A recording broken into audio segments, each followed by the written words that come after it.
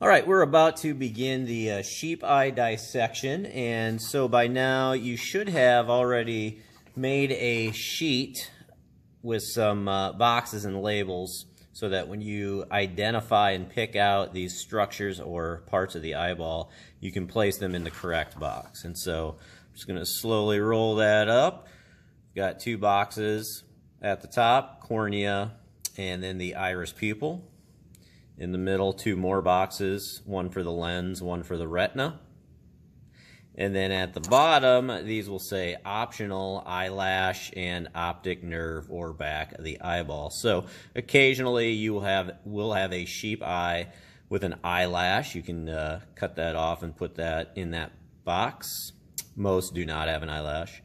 And then once in a while, the optic nerve uh, will appear as a little nub and uh, you can cut it off and place it in the box. But sometimes they cut it so close to the back of the eyeball that um, you're not able to cut it off, so you could just place the entire back of the eyeball in that box. So we have that. You should have your equipment, a dissecting tray. If you're going to handle uh, the sheep eye and do some dissecting, you should have two gloves and a pair of scissors. And so you will come up to the front and you will get your uh, sheep eye out of the bucket. Let me pick one out here.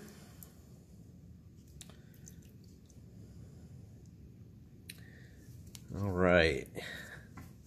And as you can see, the cornea here, it's kind of like a glazed over blue milky color, and there is some extra fatty tissue surrounding it. Just kind of looking at the back here. I believe, I believe, and I don't know if it shows up real well on camera, Oops, that the optic nerve was right there. Let me grab the scissors. It looks like that's where it got snipped. So I'm not 100% sure, but I think that's it. Okay, so one of the first things you want to do is just simply trim away some of this excess tissue. Some uh, sheep eyes will have more than others. So we just want to cut that and put that off to the side in the tray. Get rid of that. All right, so that looks like it's pretty good. Get that into the corner. All right, so now it's kind of like cutting around a line in a sense. You see the line, so we have the cornea on top, and then you can see where the blue meets the white. And what I typically try to do is you're going to have to poke down into the eye with one part of the scissors. And that's like a line you would cut, uh, cut along, except what I typically do is find that line and go just a little bit out into the white. And when you poke into the eye, I usually try to have my fingers on the outside. A lot of students, they'll try to do it like this. That's dangerous because this is slippery. And I try to poke down. So hopefully if it slips, it'll slip off to the side into the uh, tray and I won't hurt myself. But it can be, you got to give it some pressure. And so I'm just going to hold in there and poke down. Okay. And I went, uh, I went a little further out into the white than I initially wanted, but that's fine. It doesn't really matter. And all I'm going to do is just cut little snips. And I'm basically cutting the blue part out, the cornea. And we'll see in just a moment that the iris is attached to the back. So I cut all the way around that last little snip there. Okay. So now what I want to do is I want to remove this part that I just cut. And I'm going to lift that out and you'll see all this clear white jelly-like material, which is the, it's called the vitreous humor. It fills up the eyeball. And I'm going to just get that vitreous humor, that clear jelly stuff out, kind of scrape it away. So now when I, I'm going to take the main part of the eyeball and set it off to the side for now. And like I said, this is the cornea, the outer protective part of the eye. And when I flip it over, I can see that right behind it, just like in the diagrams that we studied, there's the lens. And so I just want to take my finger, scoop that out, kind of get some more of that vitreous humor, that jelly off of there, and there I have it. Okay, it's very smooth and very tough. And then I want to place that on the sheet in the box that says lens. So now when I take a look at this and I get some more of that clear jelly out, I can see that there is indeed a hole in the middle.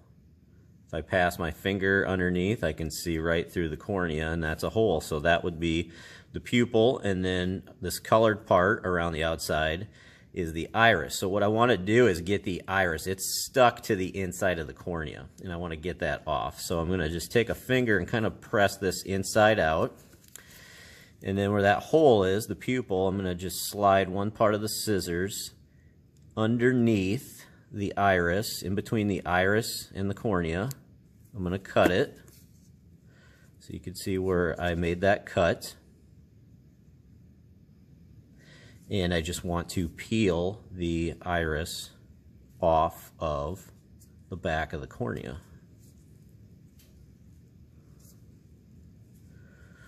Okay. So again, now you can see that this sheep actually had brown eyes, and you can see the hole in the middle, the pupil.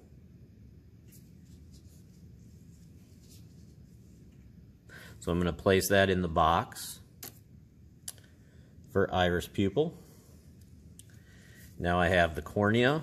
This protects the eye. You can tell it's pretty tough. I'm going to put that in the box that says cornea.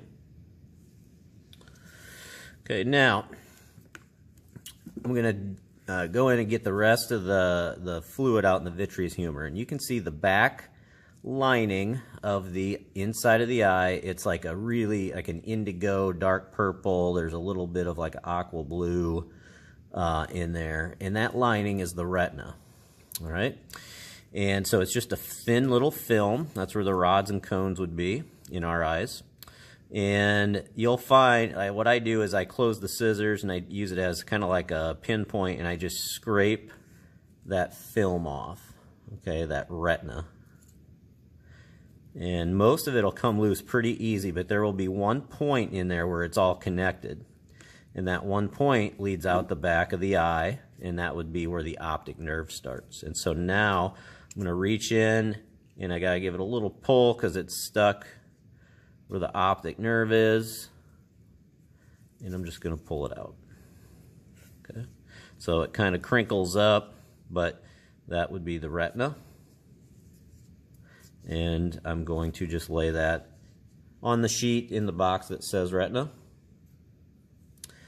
And so what I'm kind of left with now is just like the main part of the eyeball.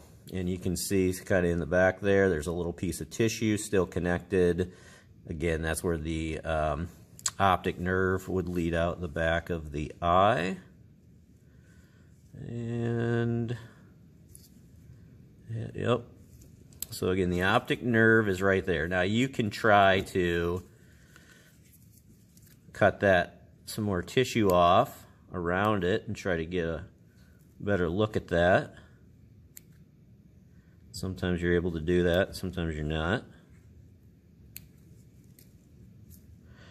Okay, now if you get a little nub there and you can cut it off, cut it off. So sometimes it's not much at all, but that would be the optic nerve, or at least, uh, so that's going to lead out the back of the eye, and that's going to go to the back part of the brain, which interprets what you see. So I'm going to put that in the box. I didn't have an eyelash. Now, some students here at the end, they like to see if they can cut this apart. You can try that if you wish, just to see what you know, is in there. Uh, some students will try to cut uh, the cornea apart, which is fine with me. Um, just be careful. So this stuff is still slick. All right, so that's a sheep eye dissection. It's time to rinse off the scissors, rinse out the tray. All the tissue goes in the trash before you rinse anything out. And let me see if I can lift the sheet over here. Okay, so you can see I have a cornea and an iris pupil. I have a lens and a retina. And I was able to get a little piece of the optic nerve. All right. Hope you had a good time. Hope you learned something. Hope you were able to identify those main structures of the eye.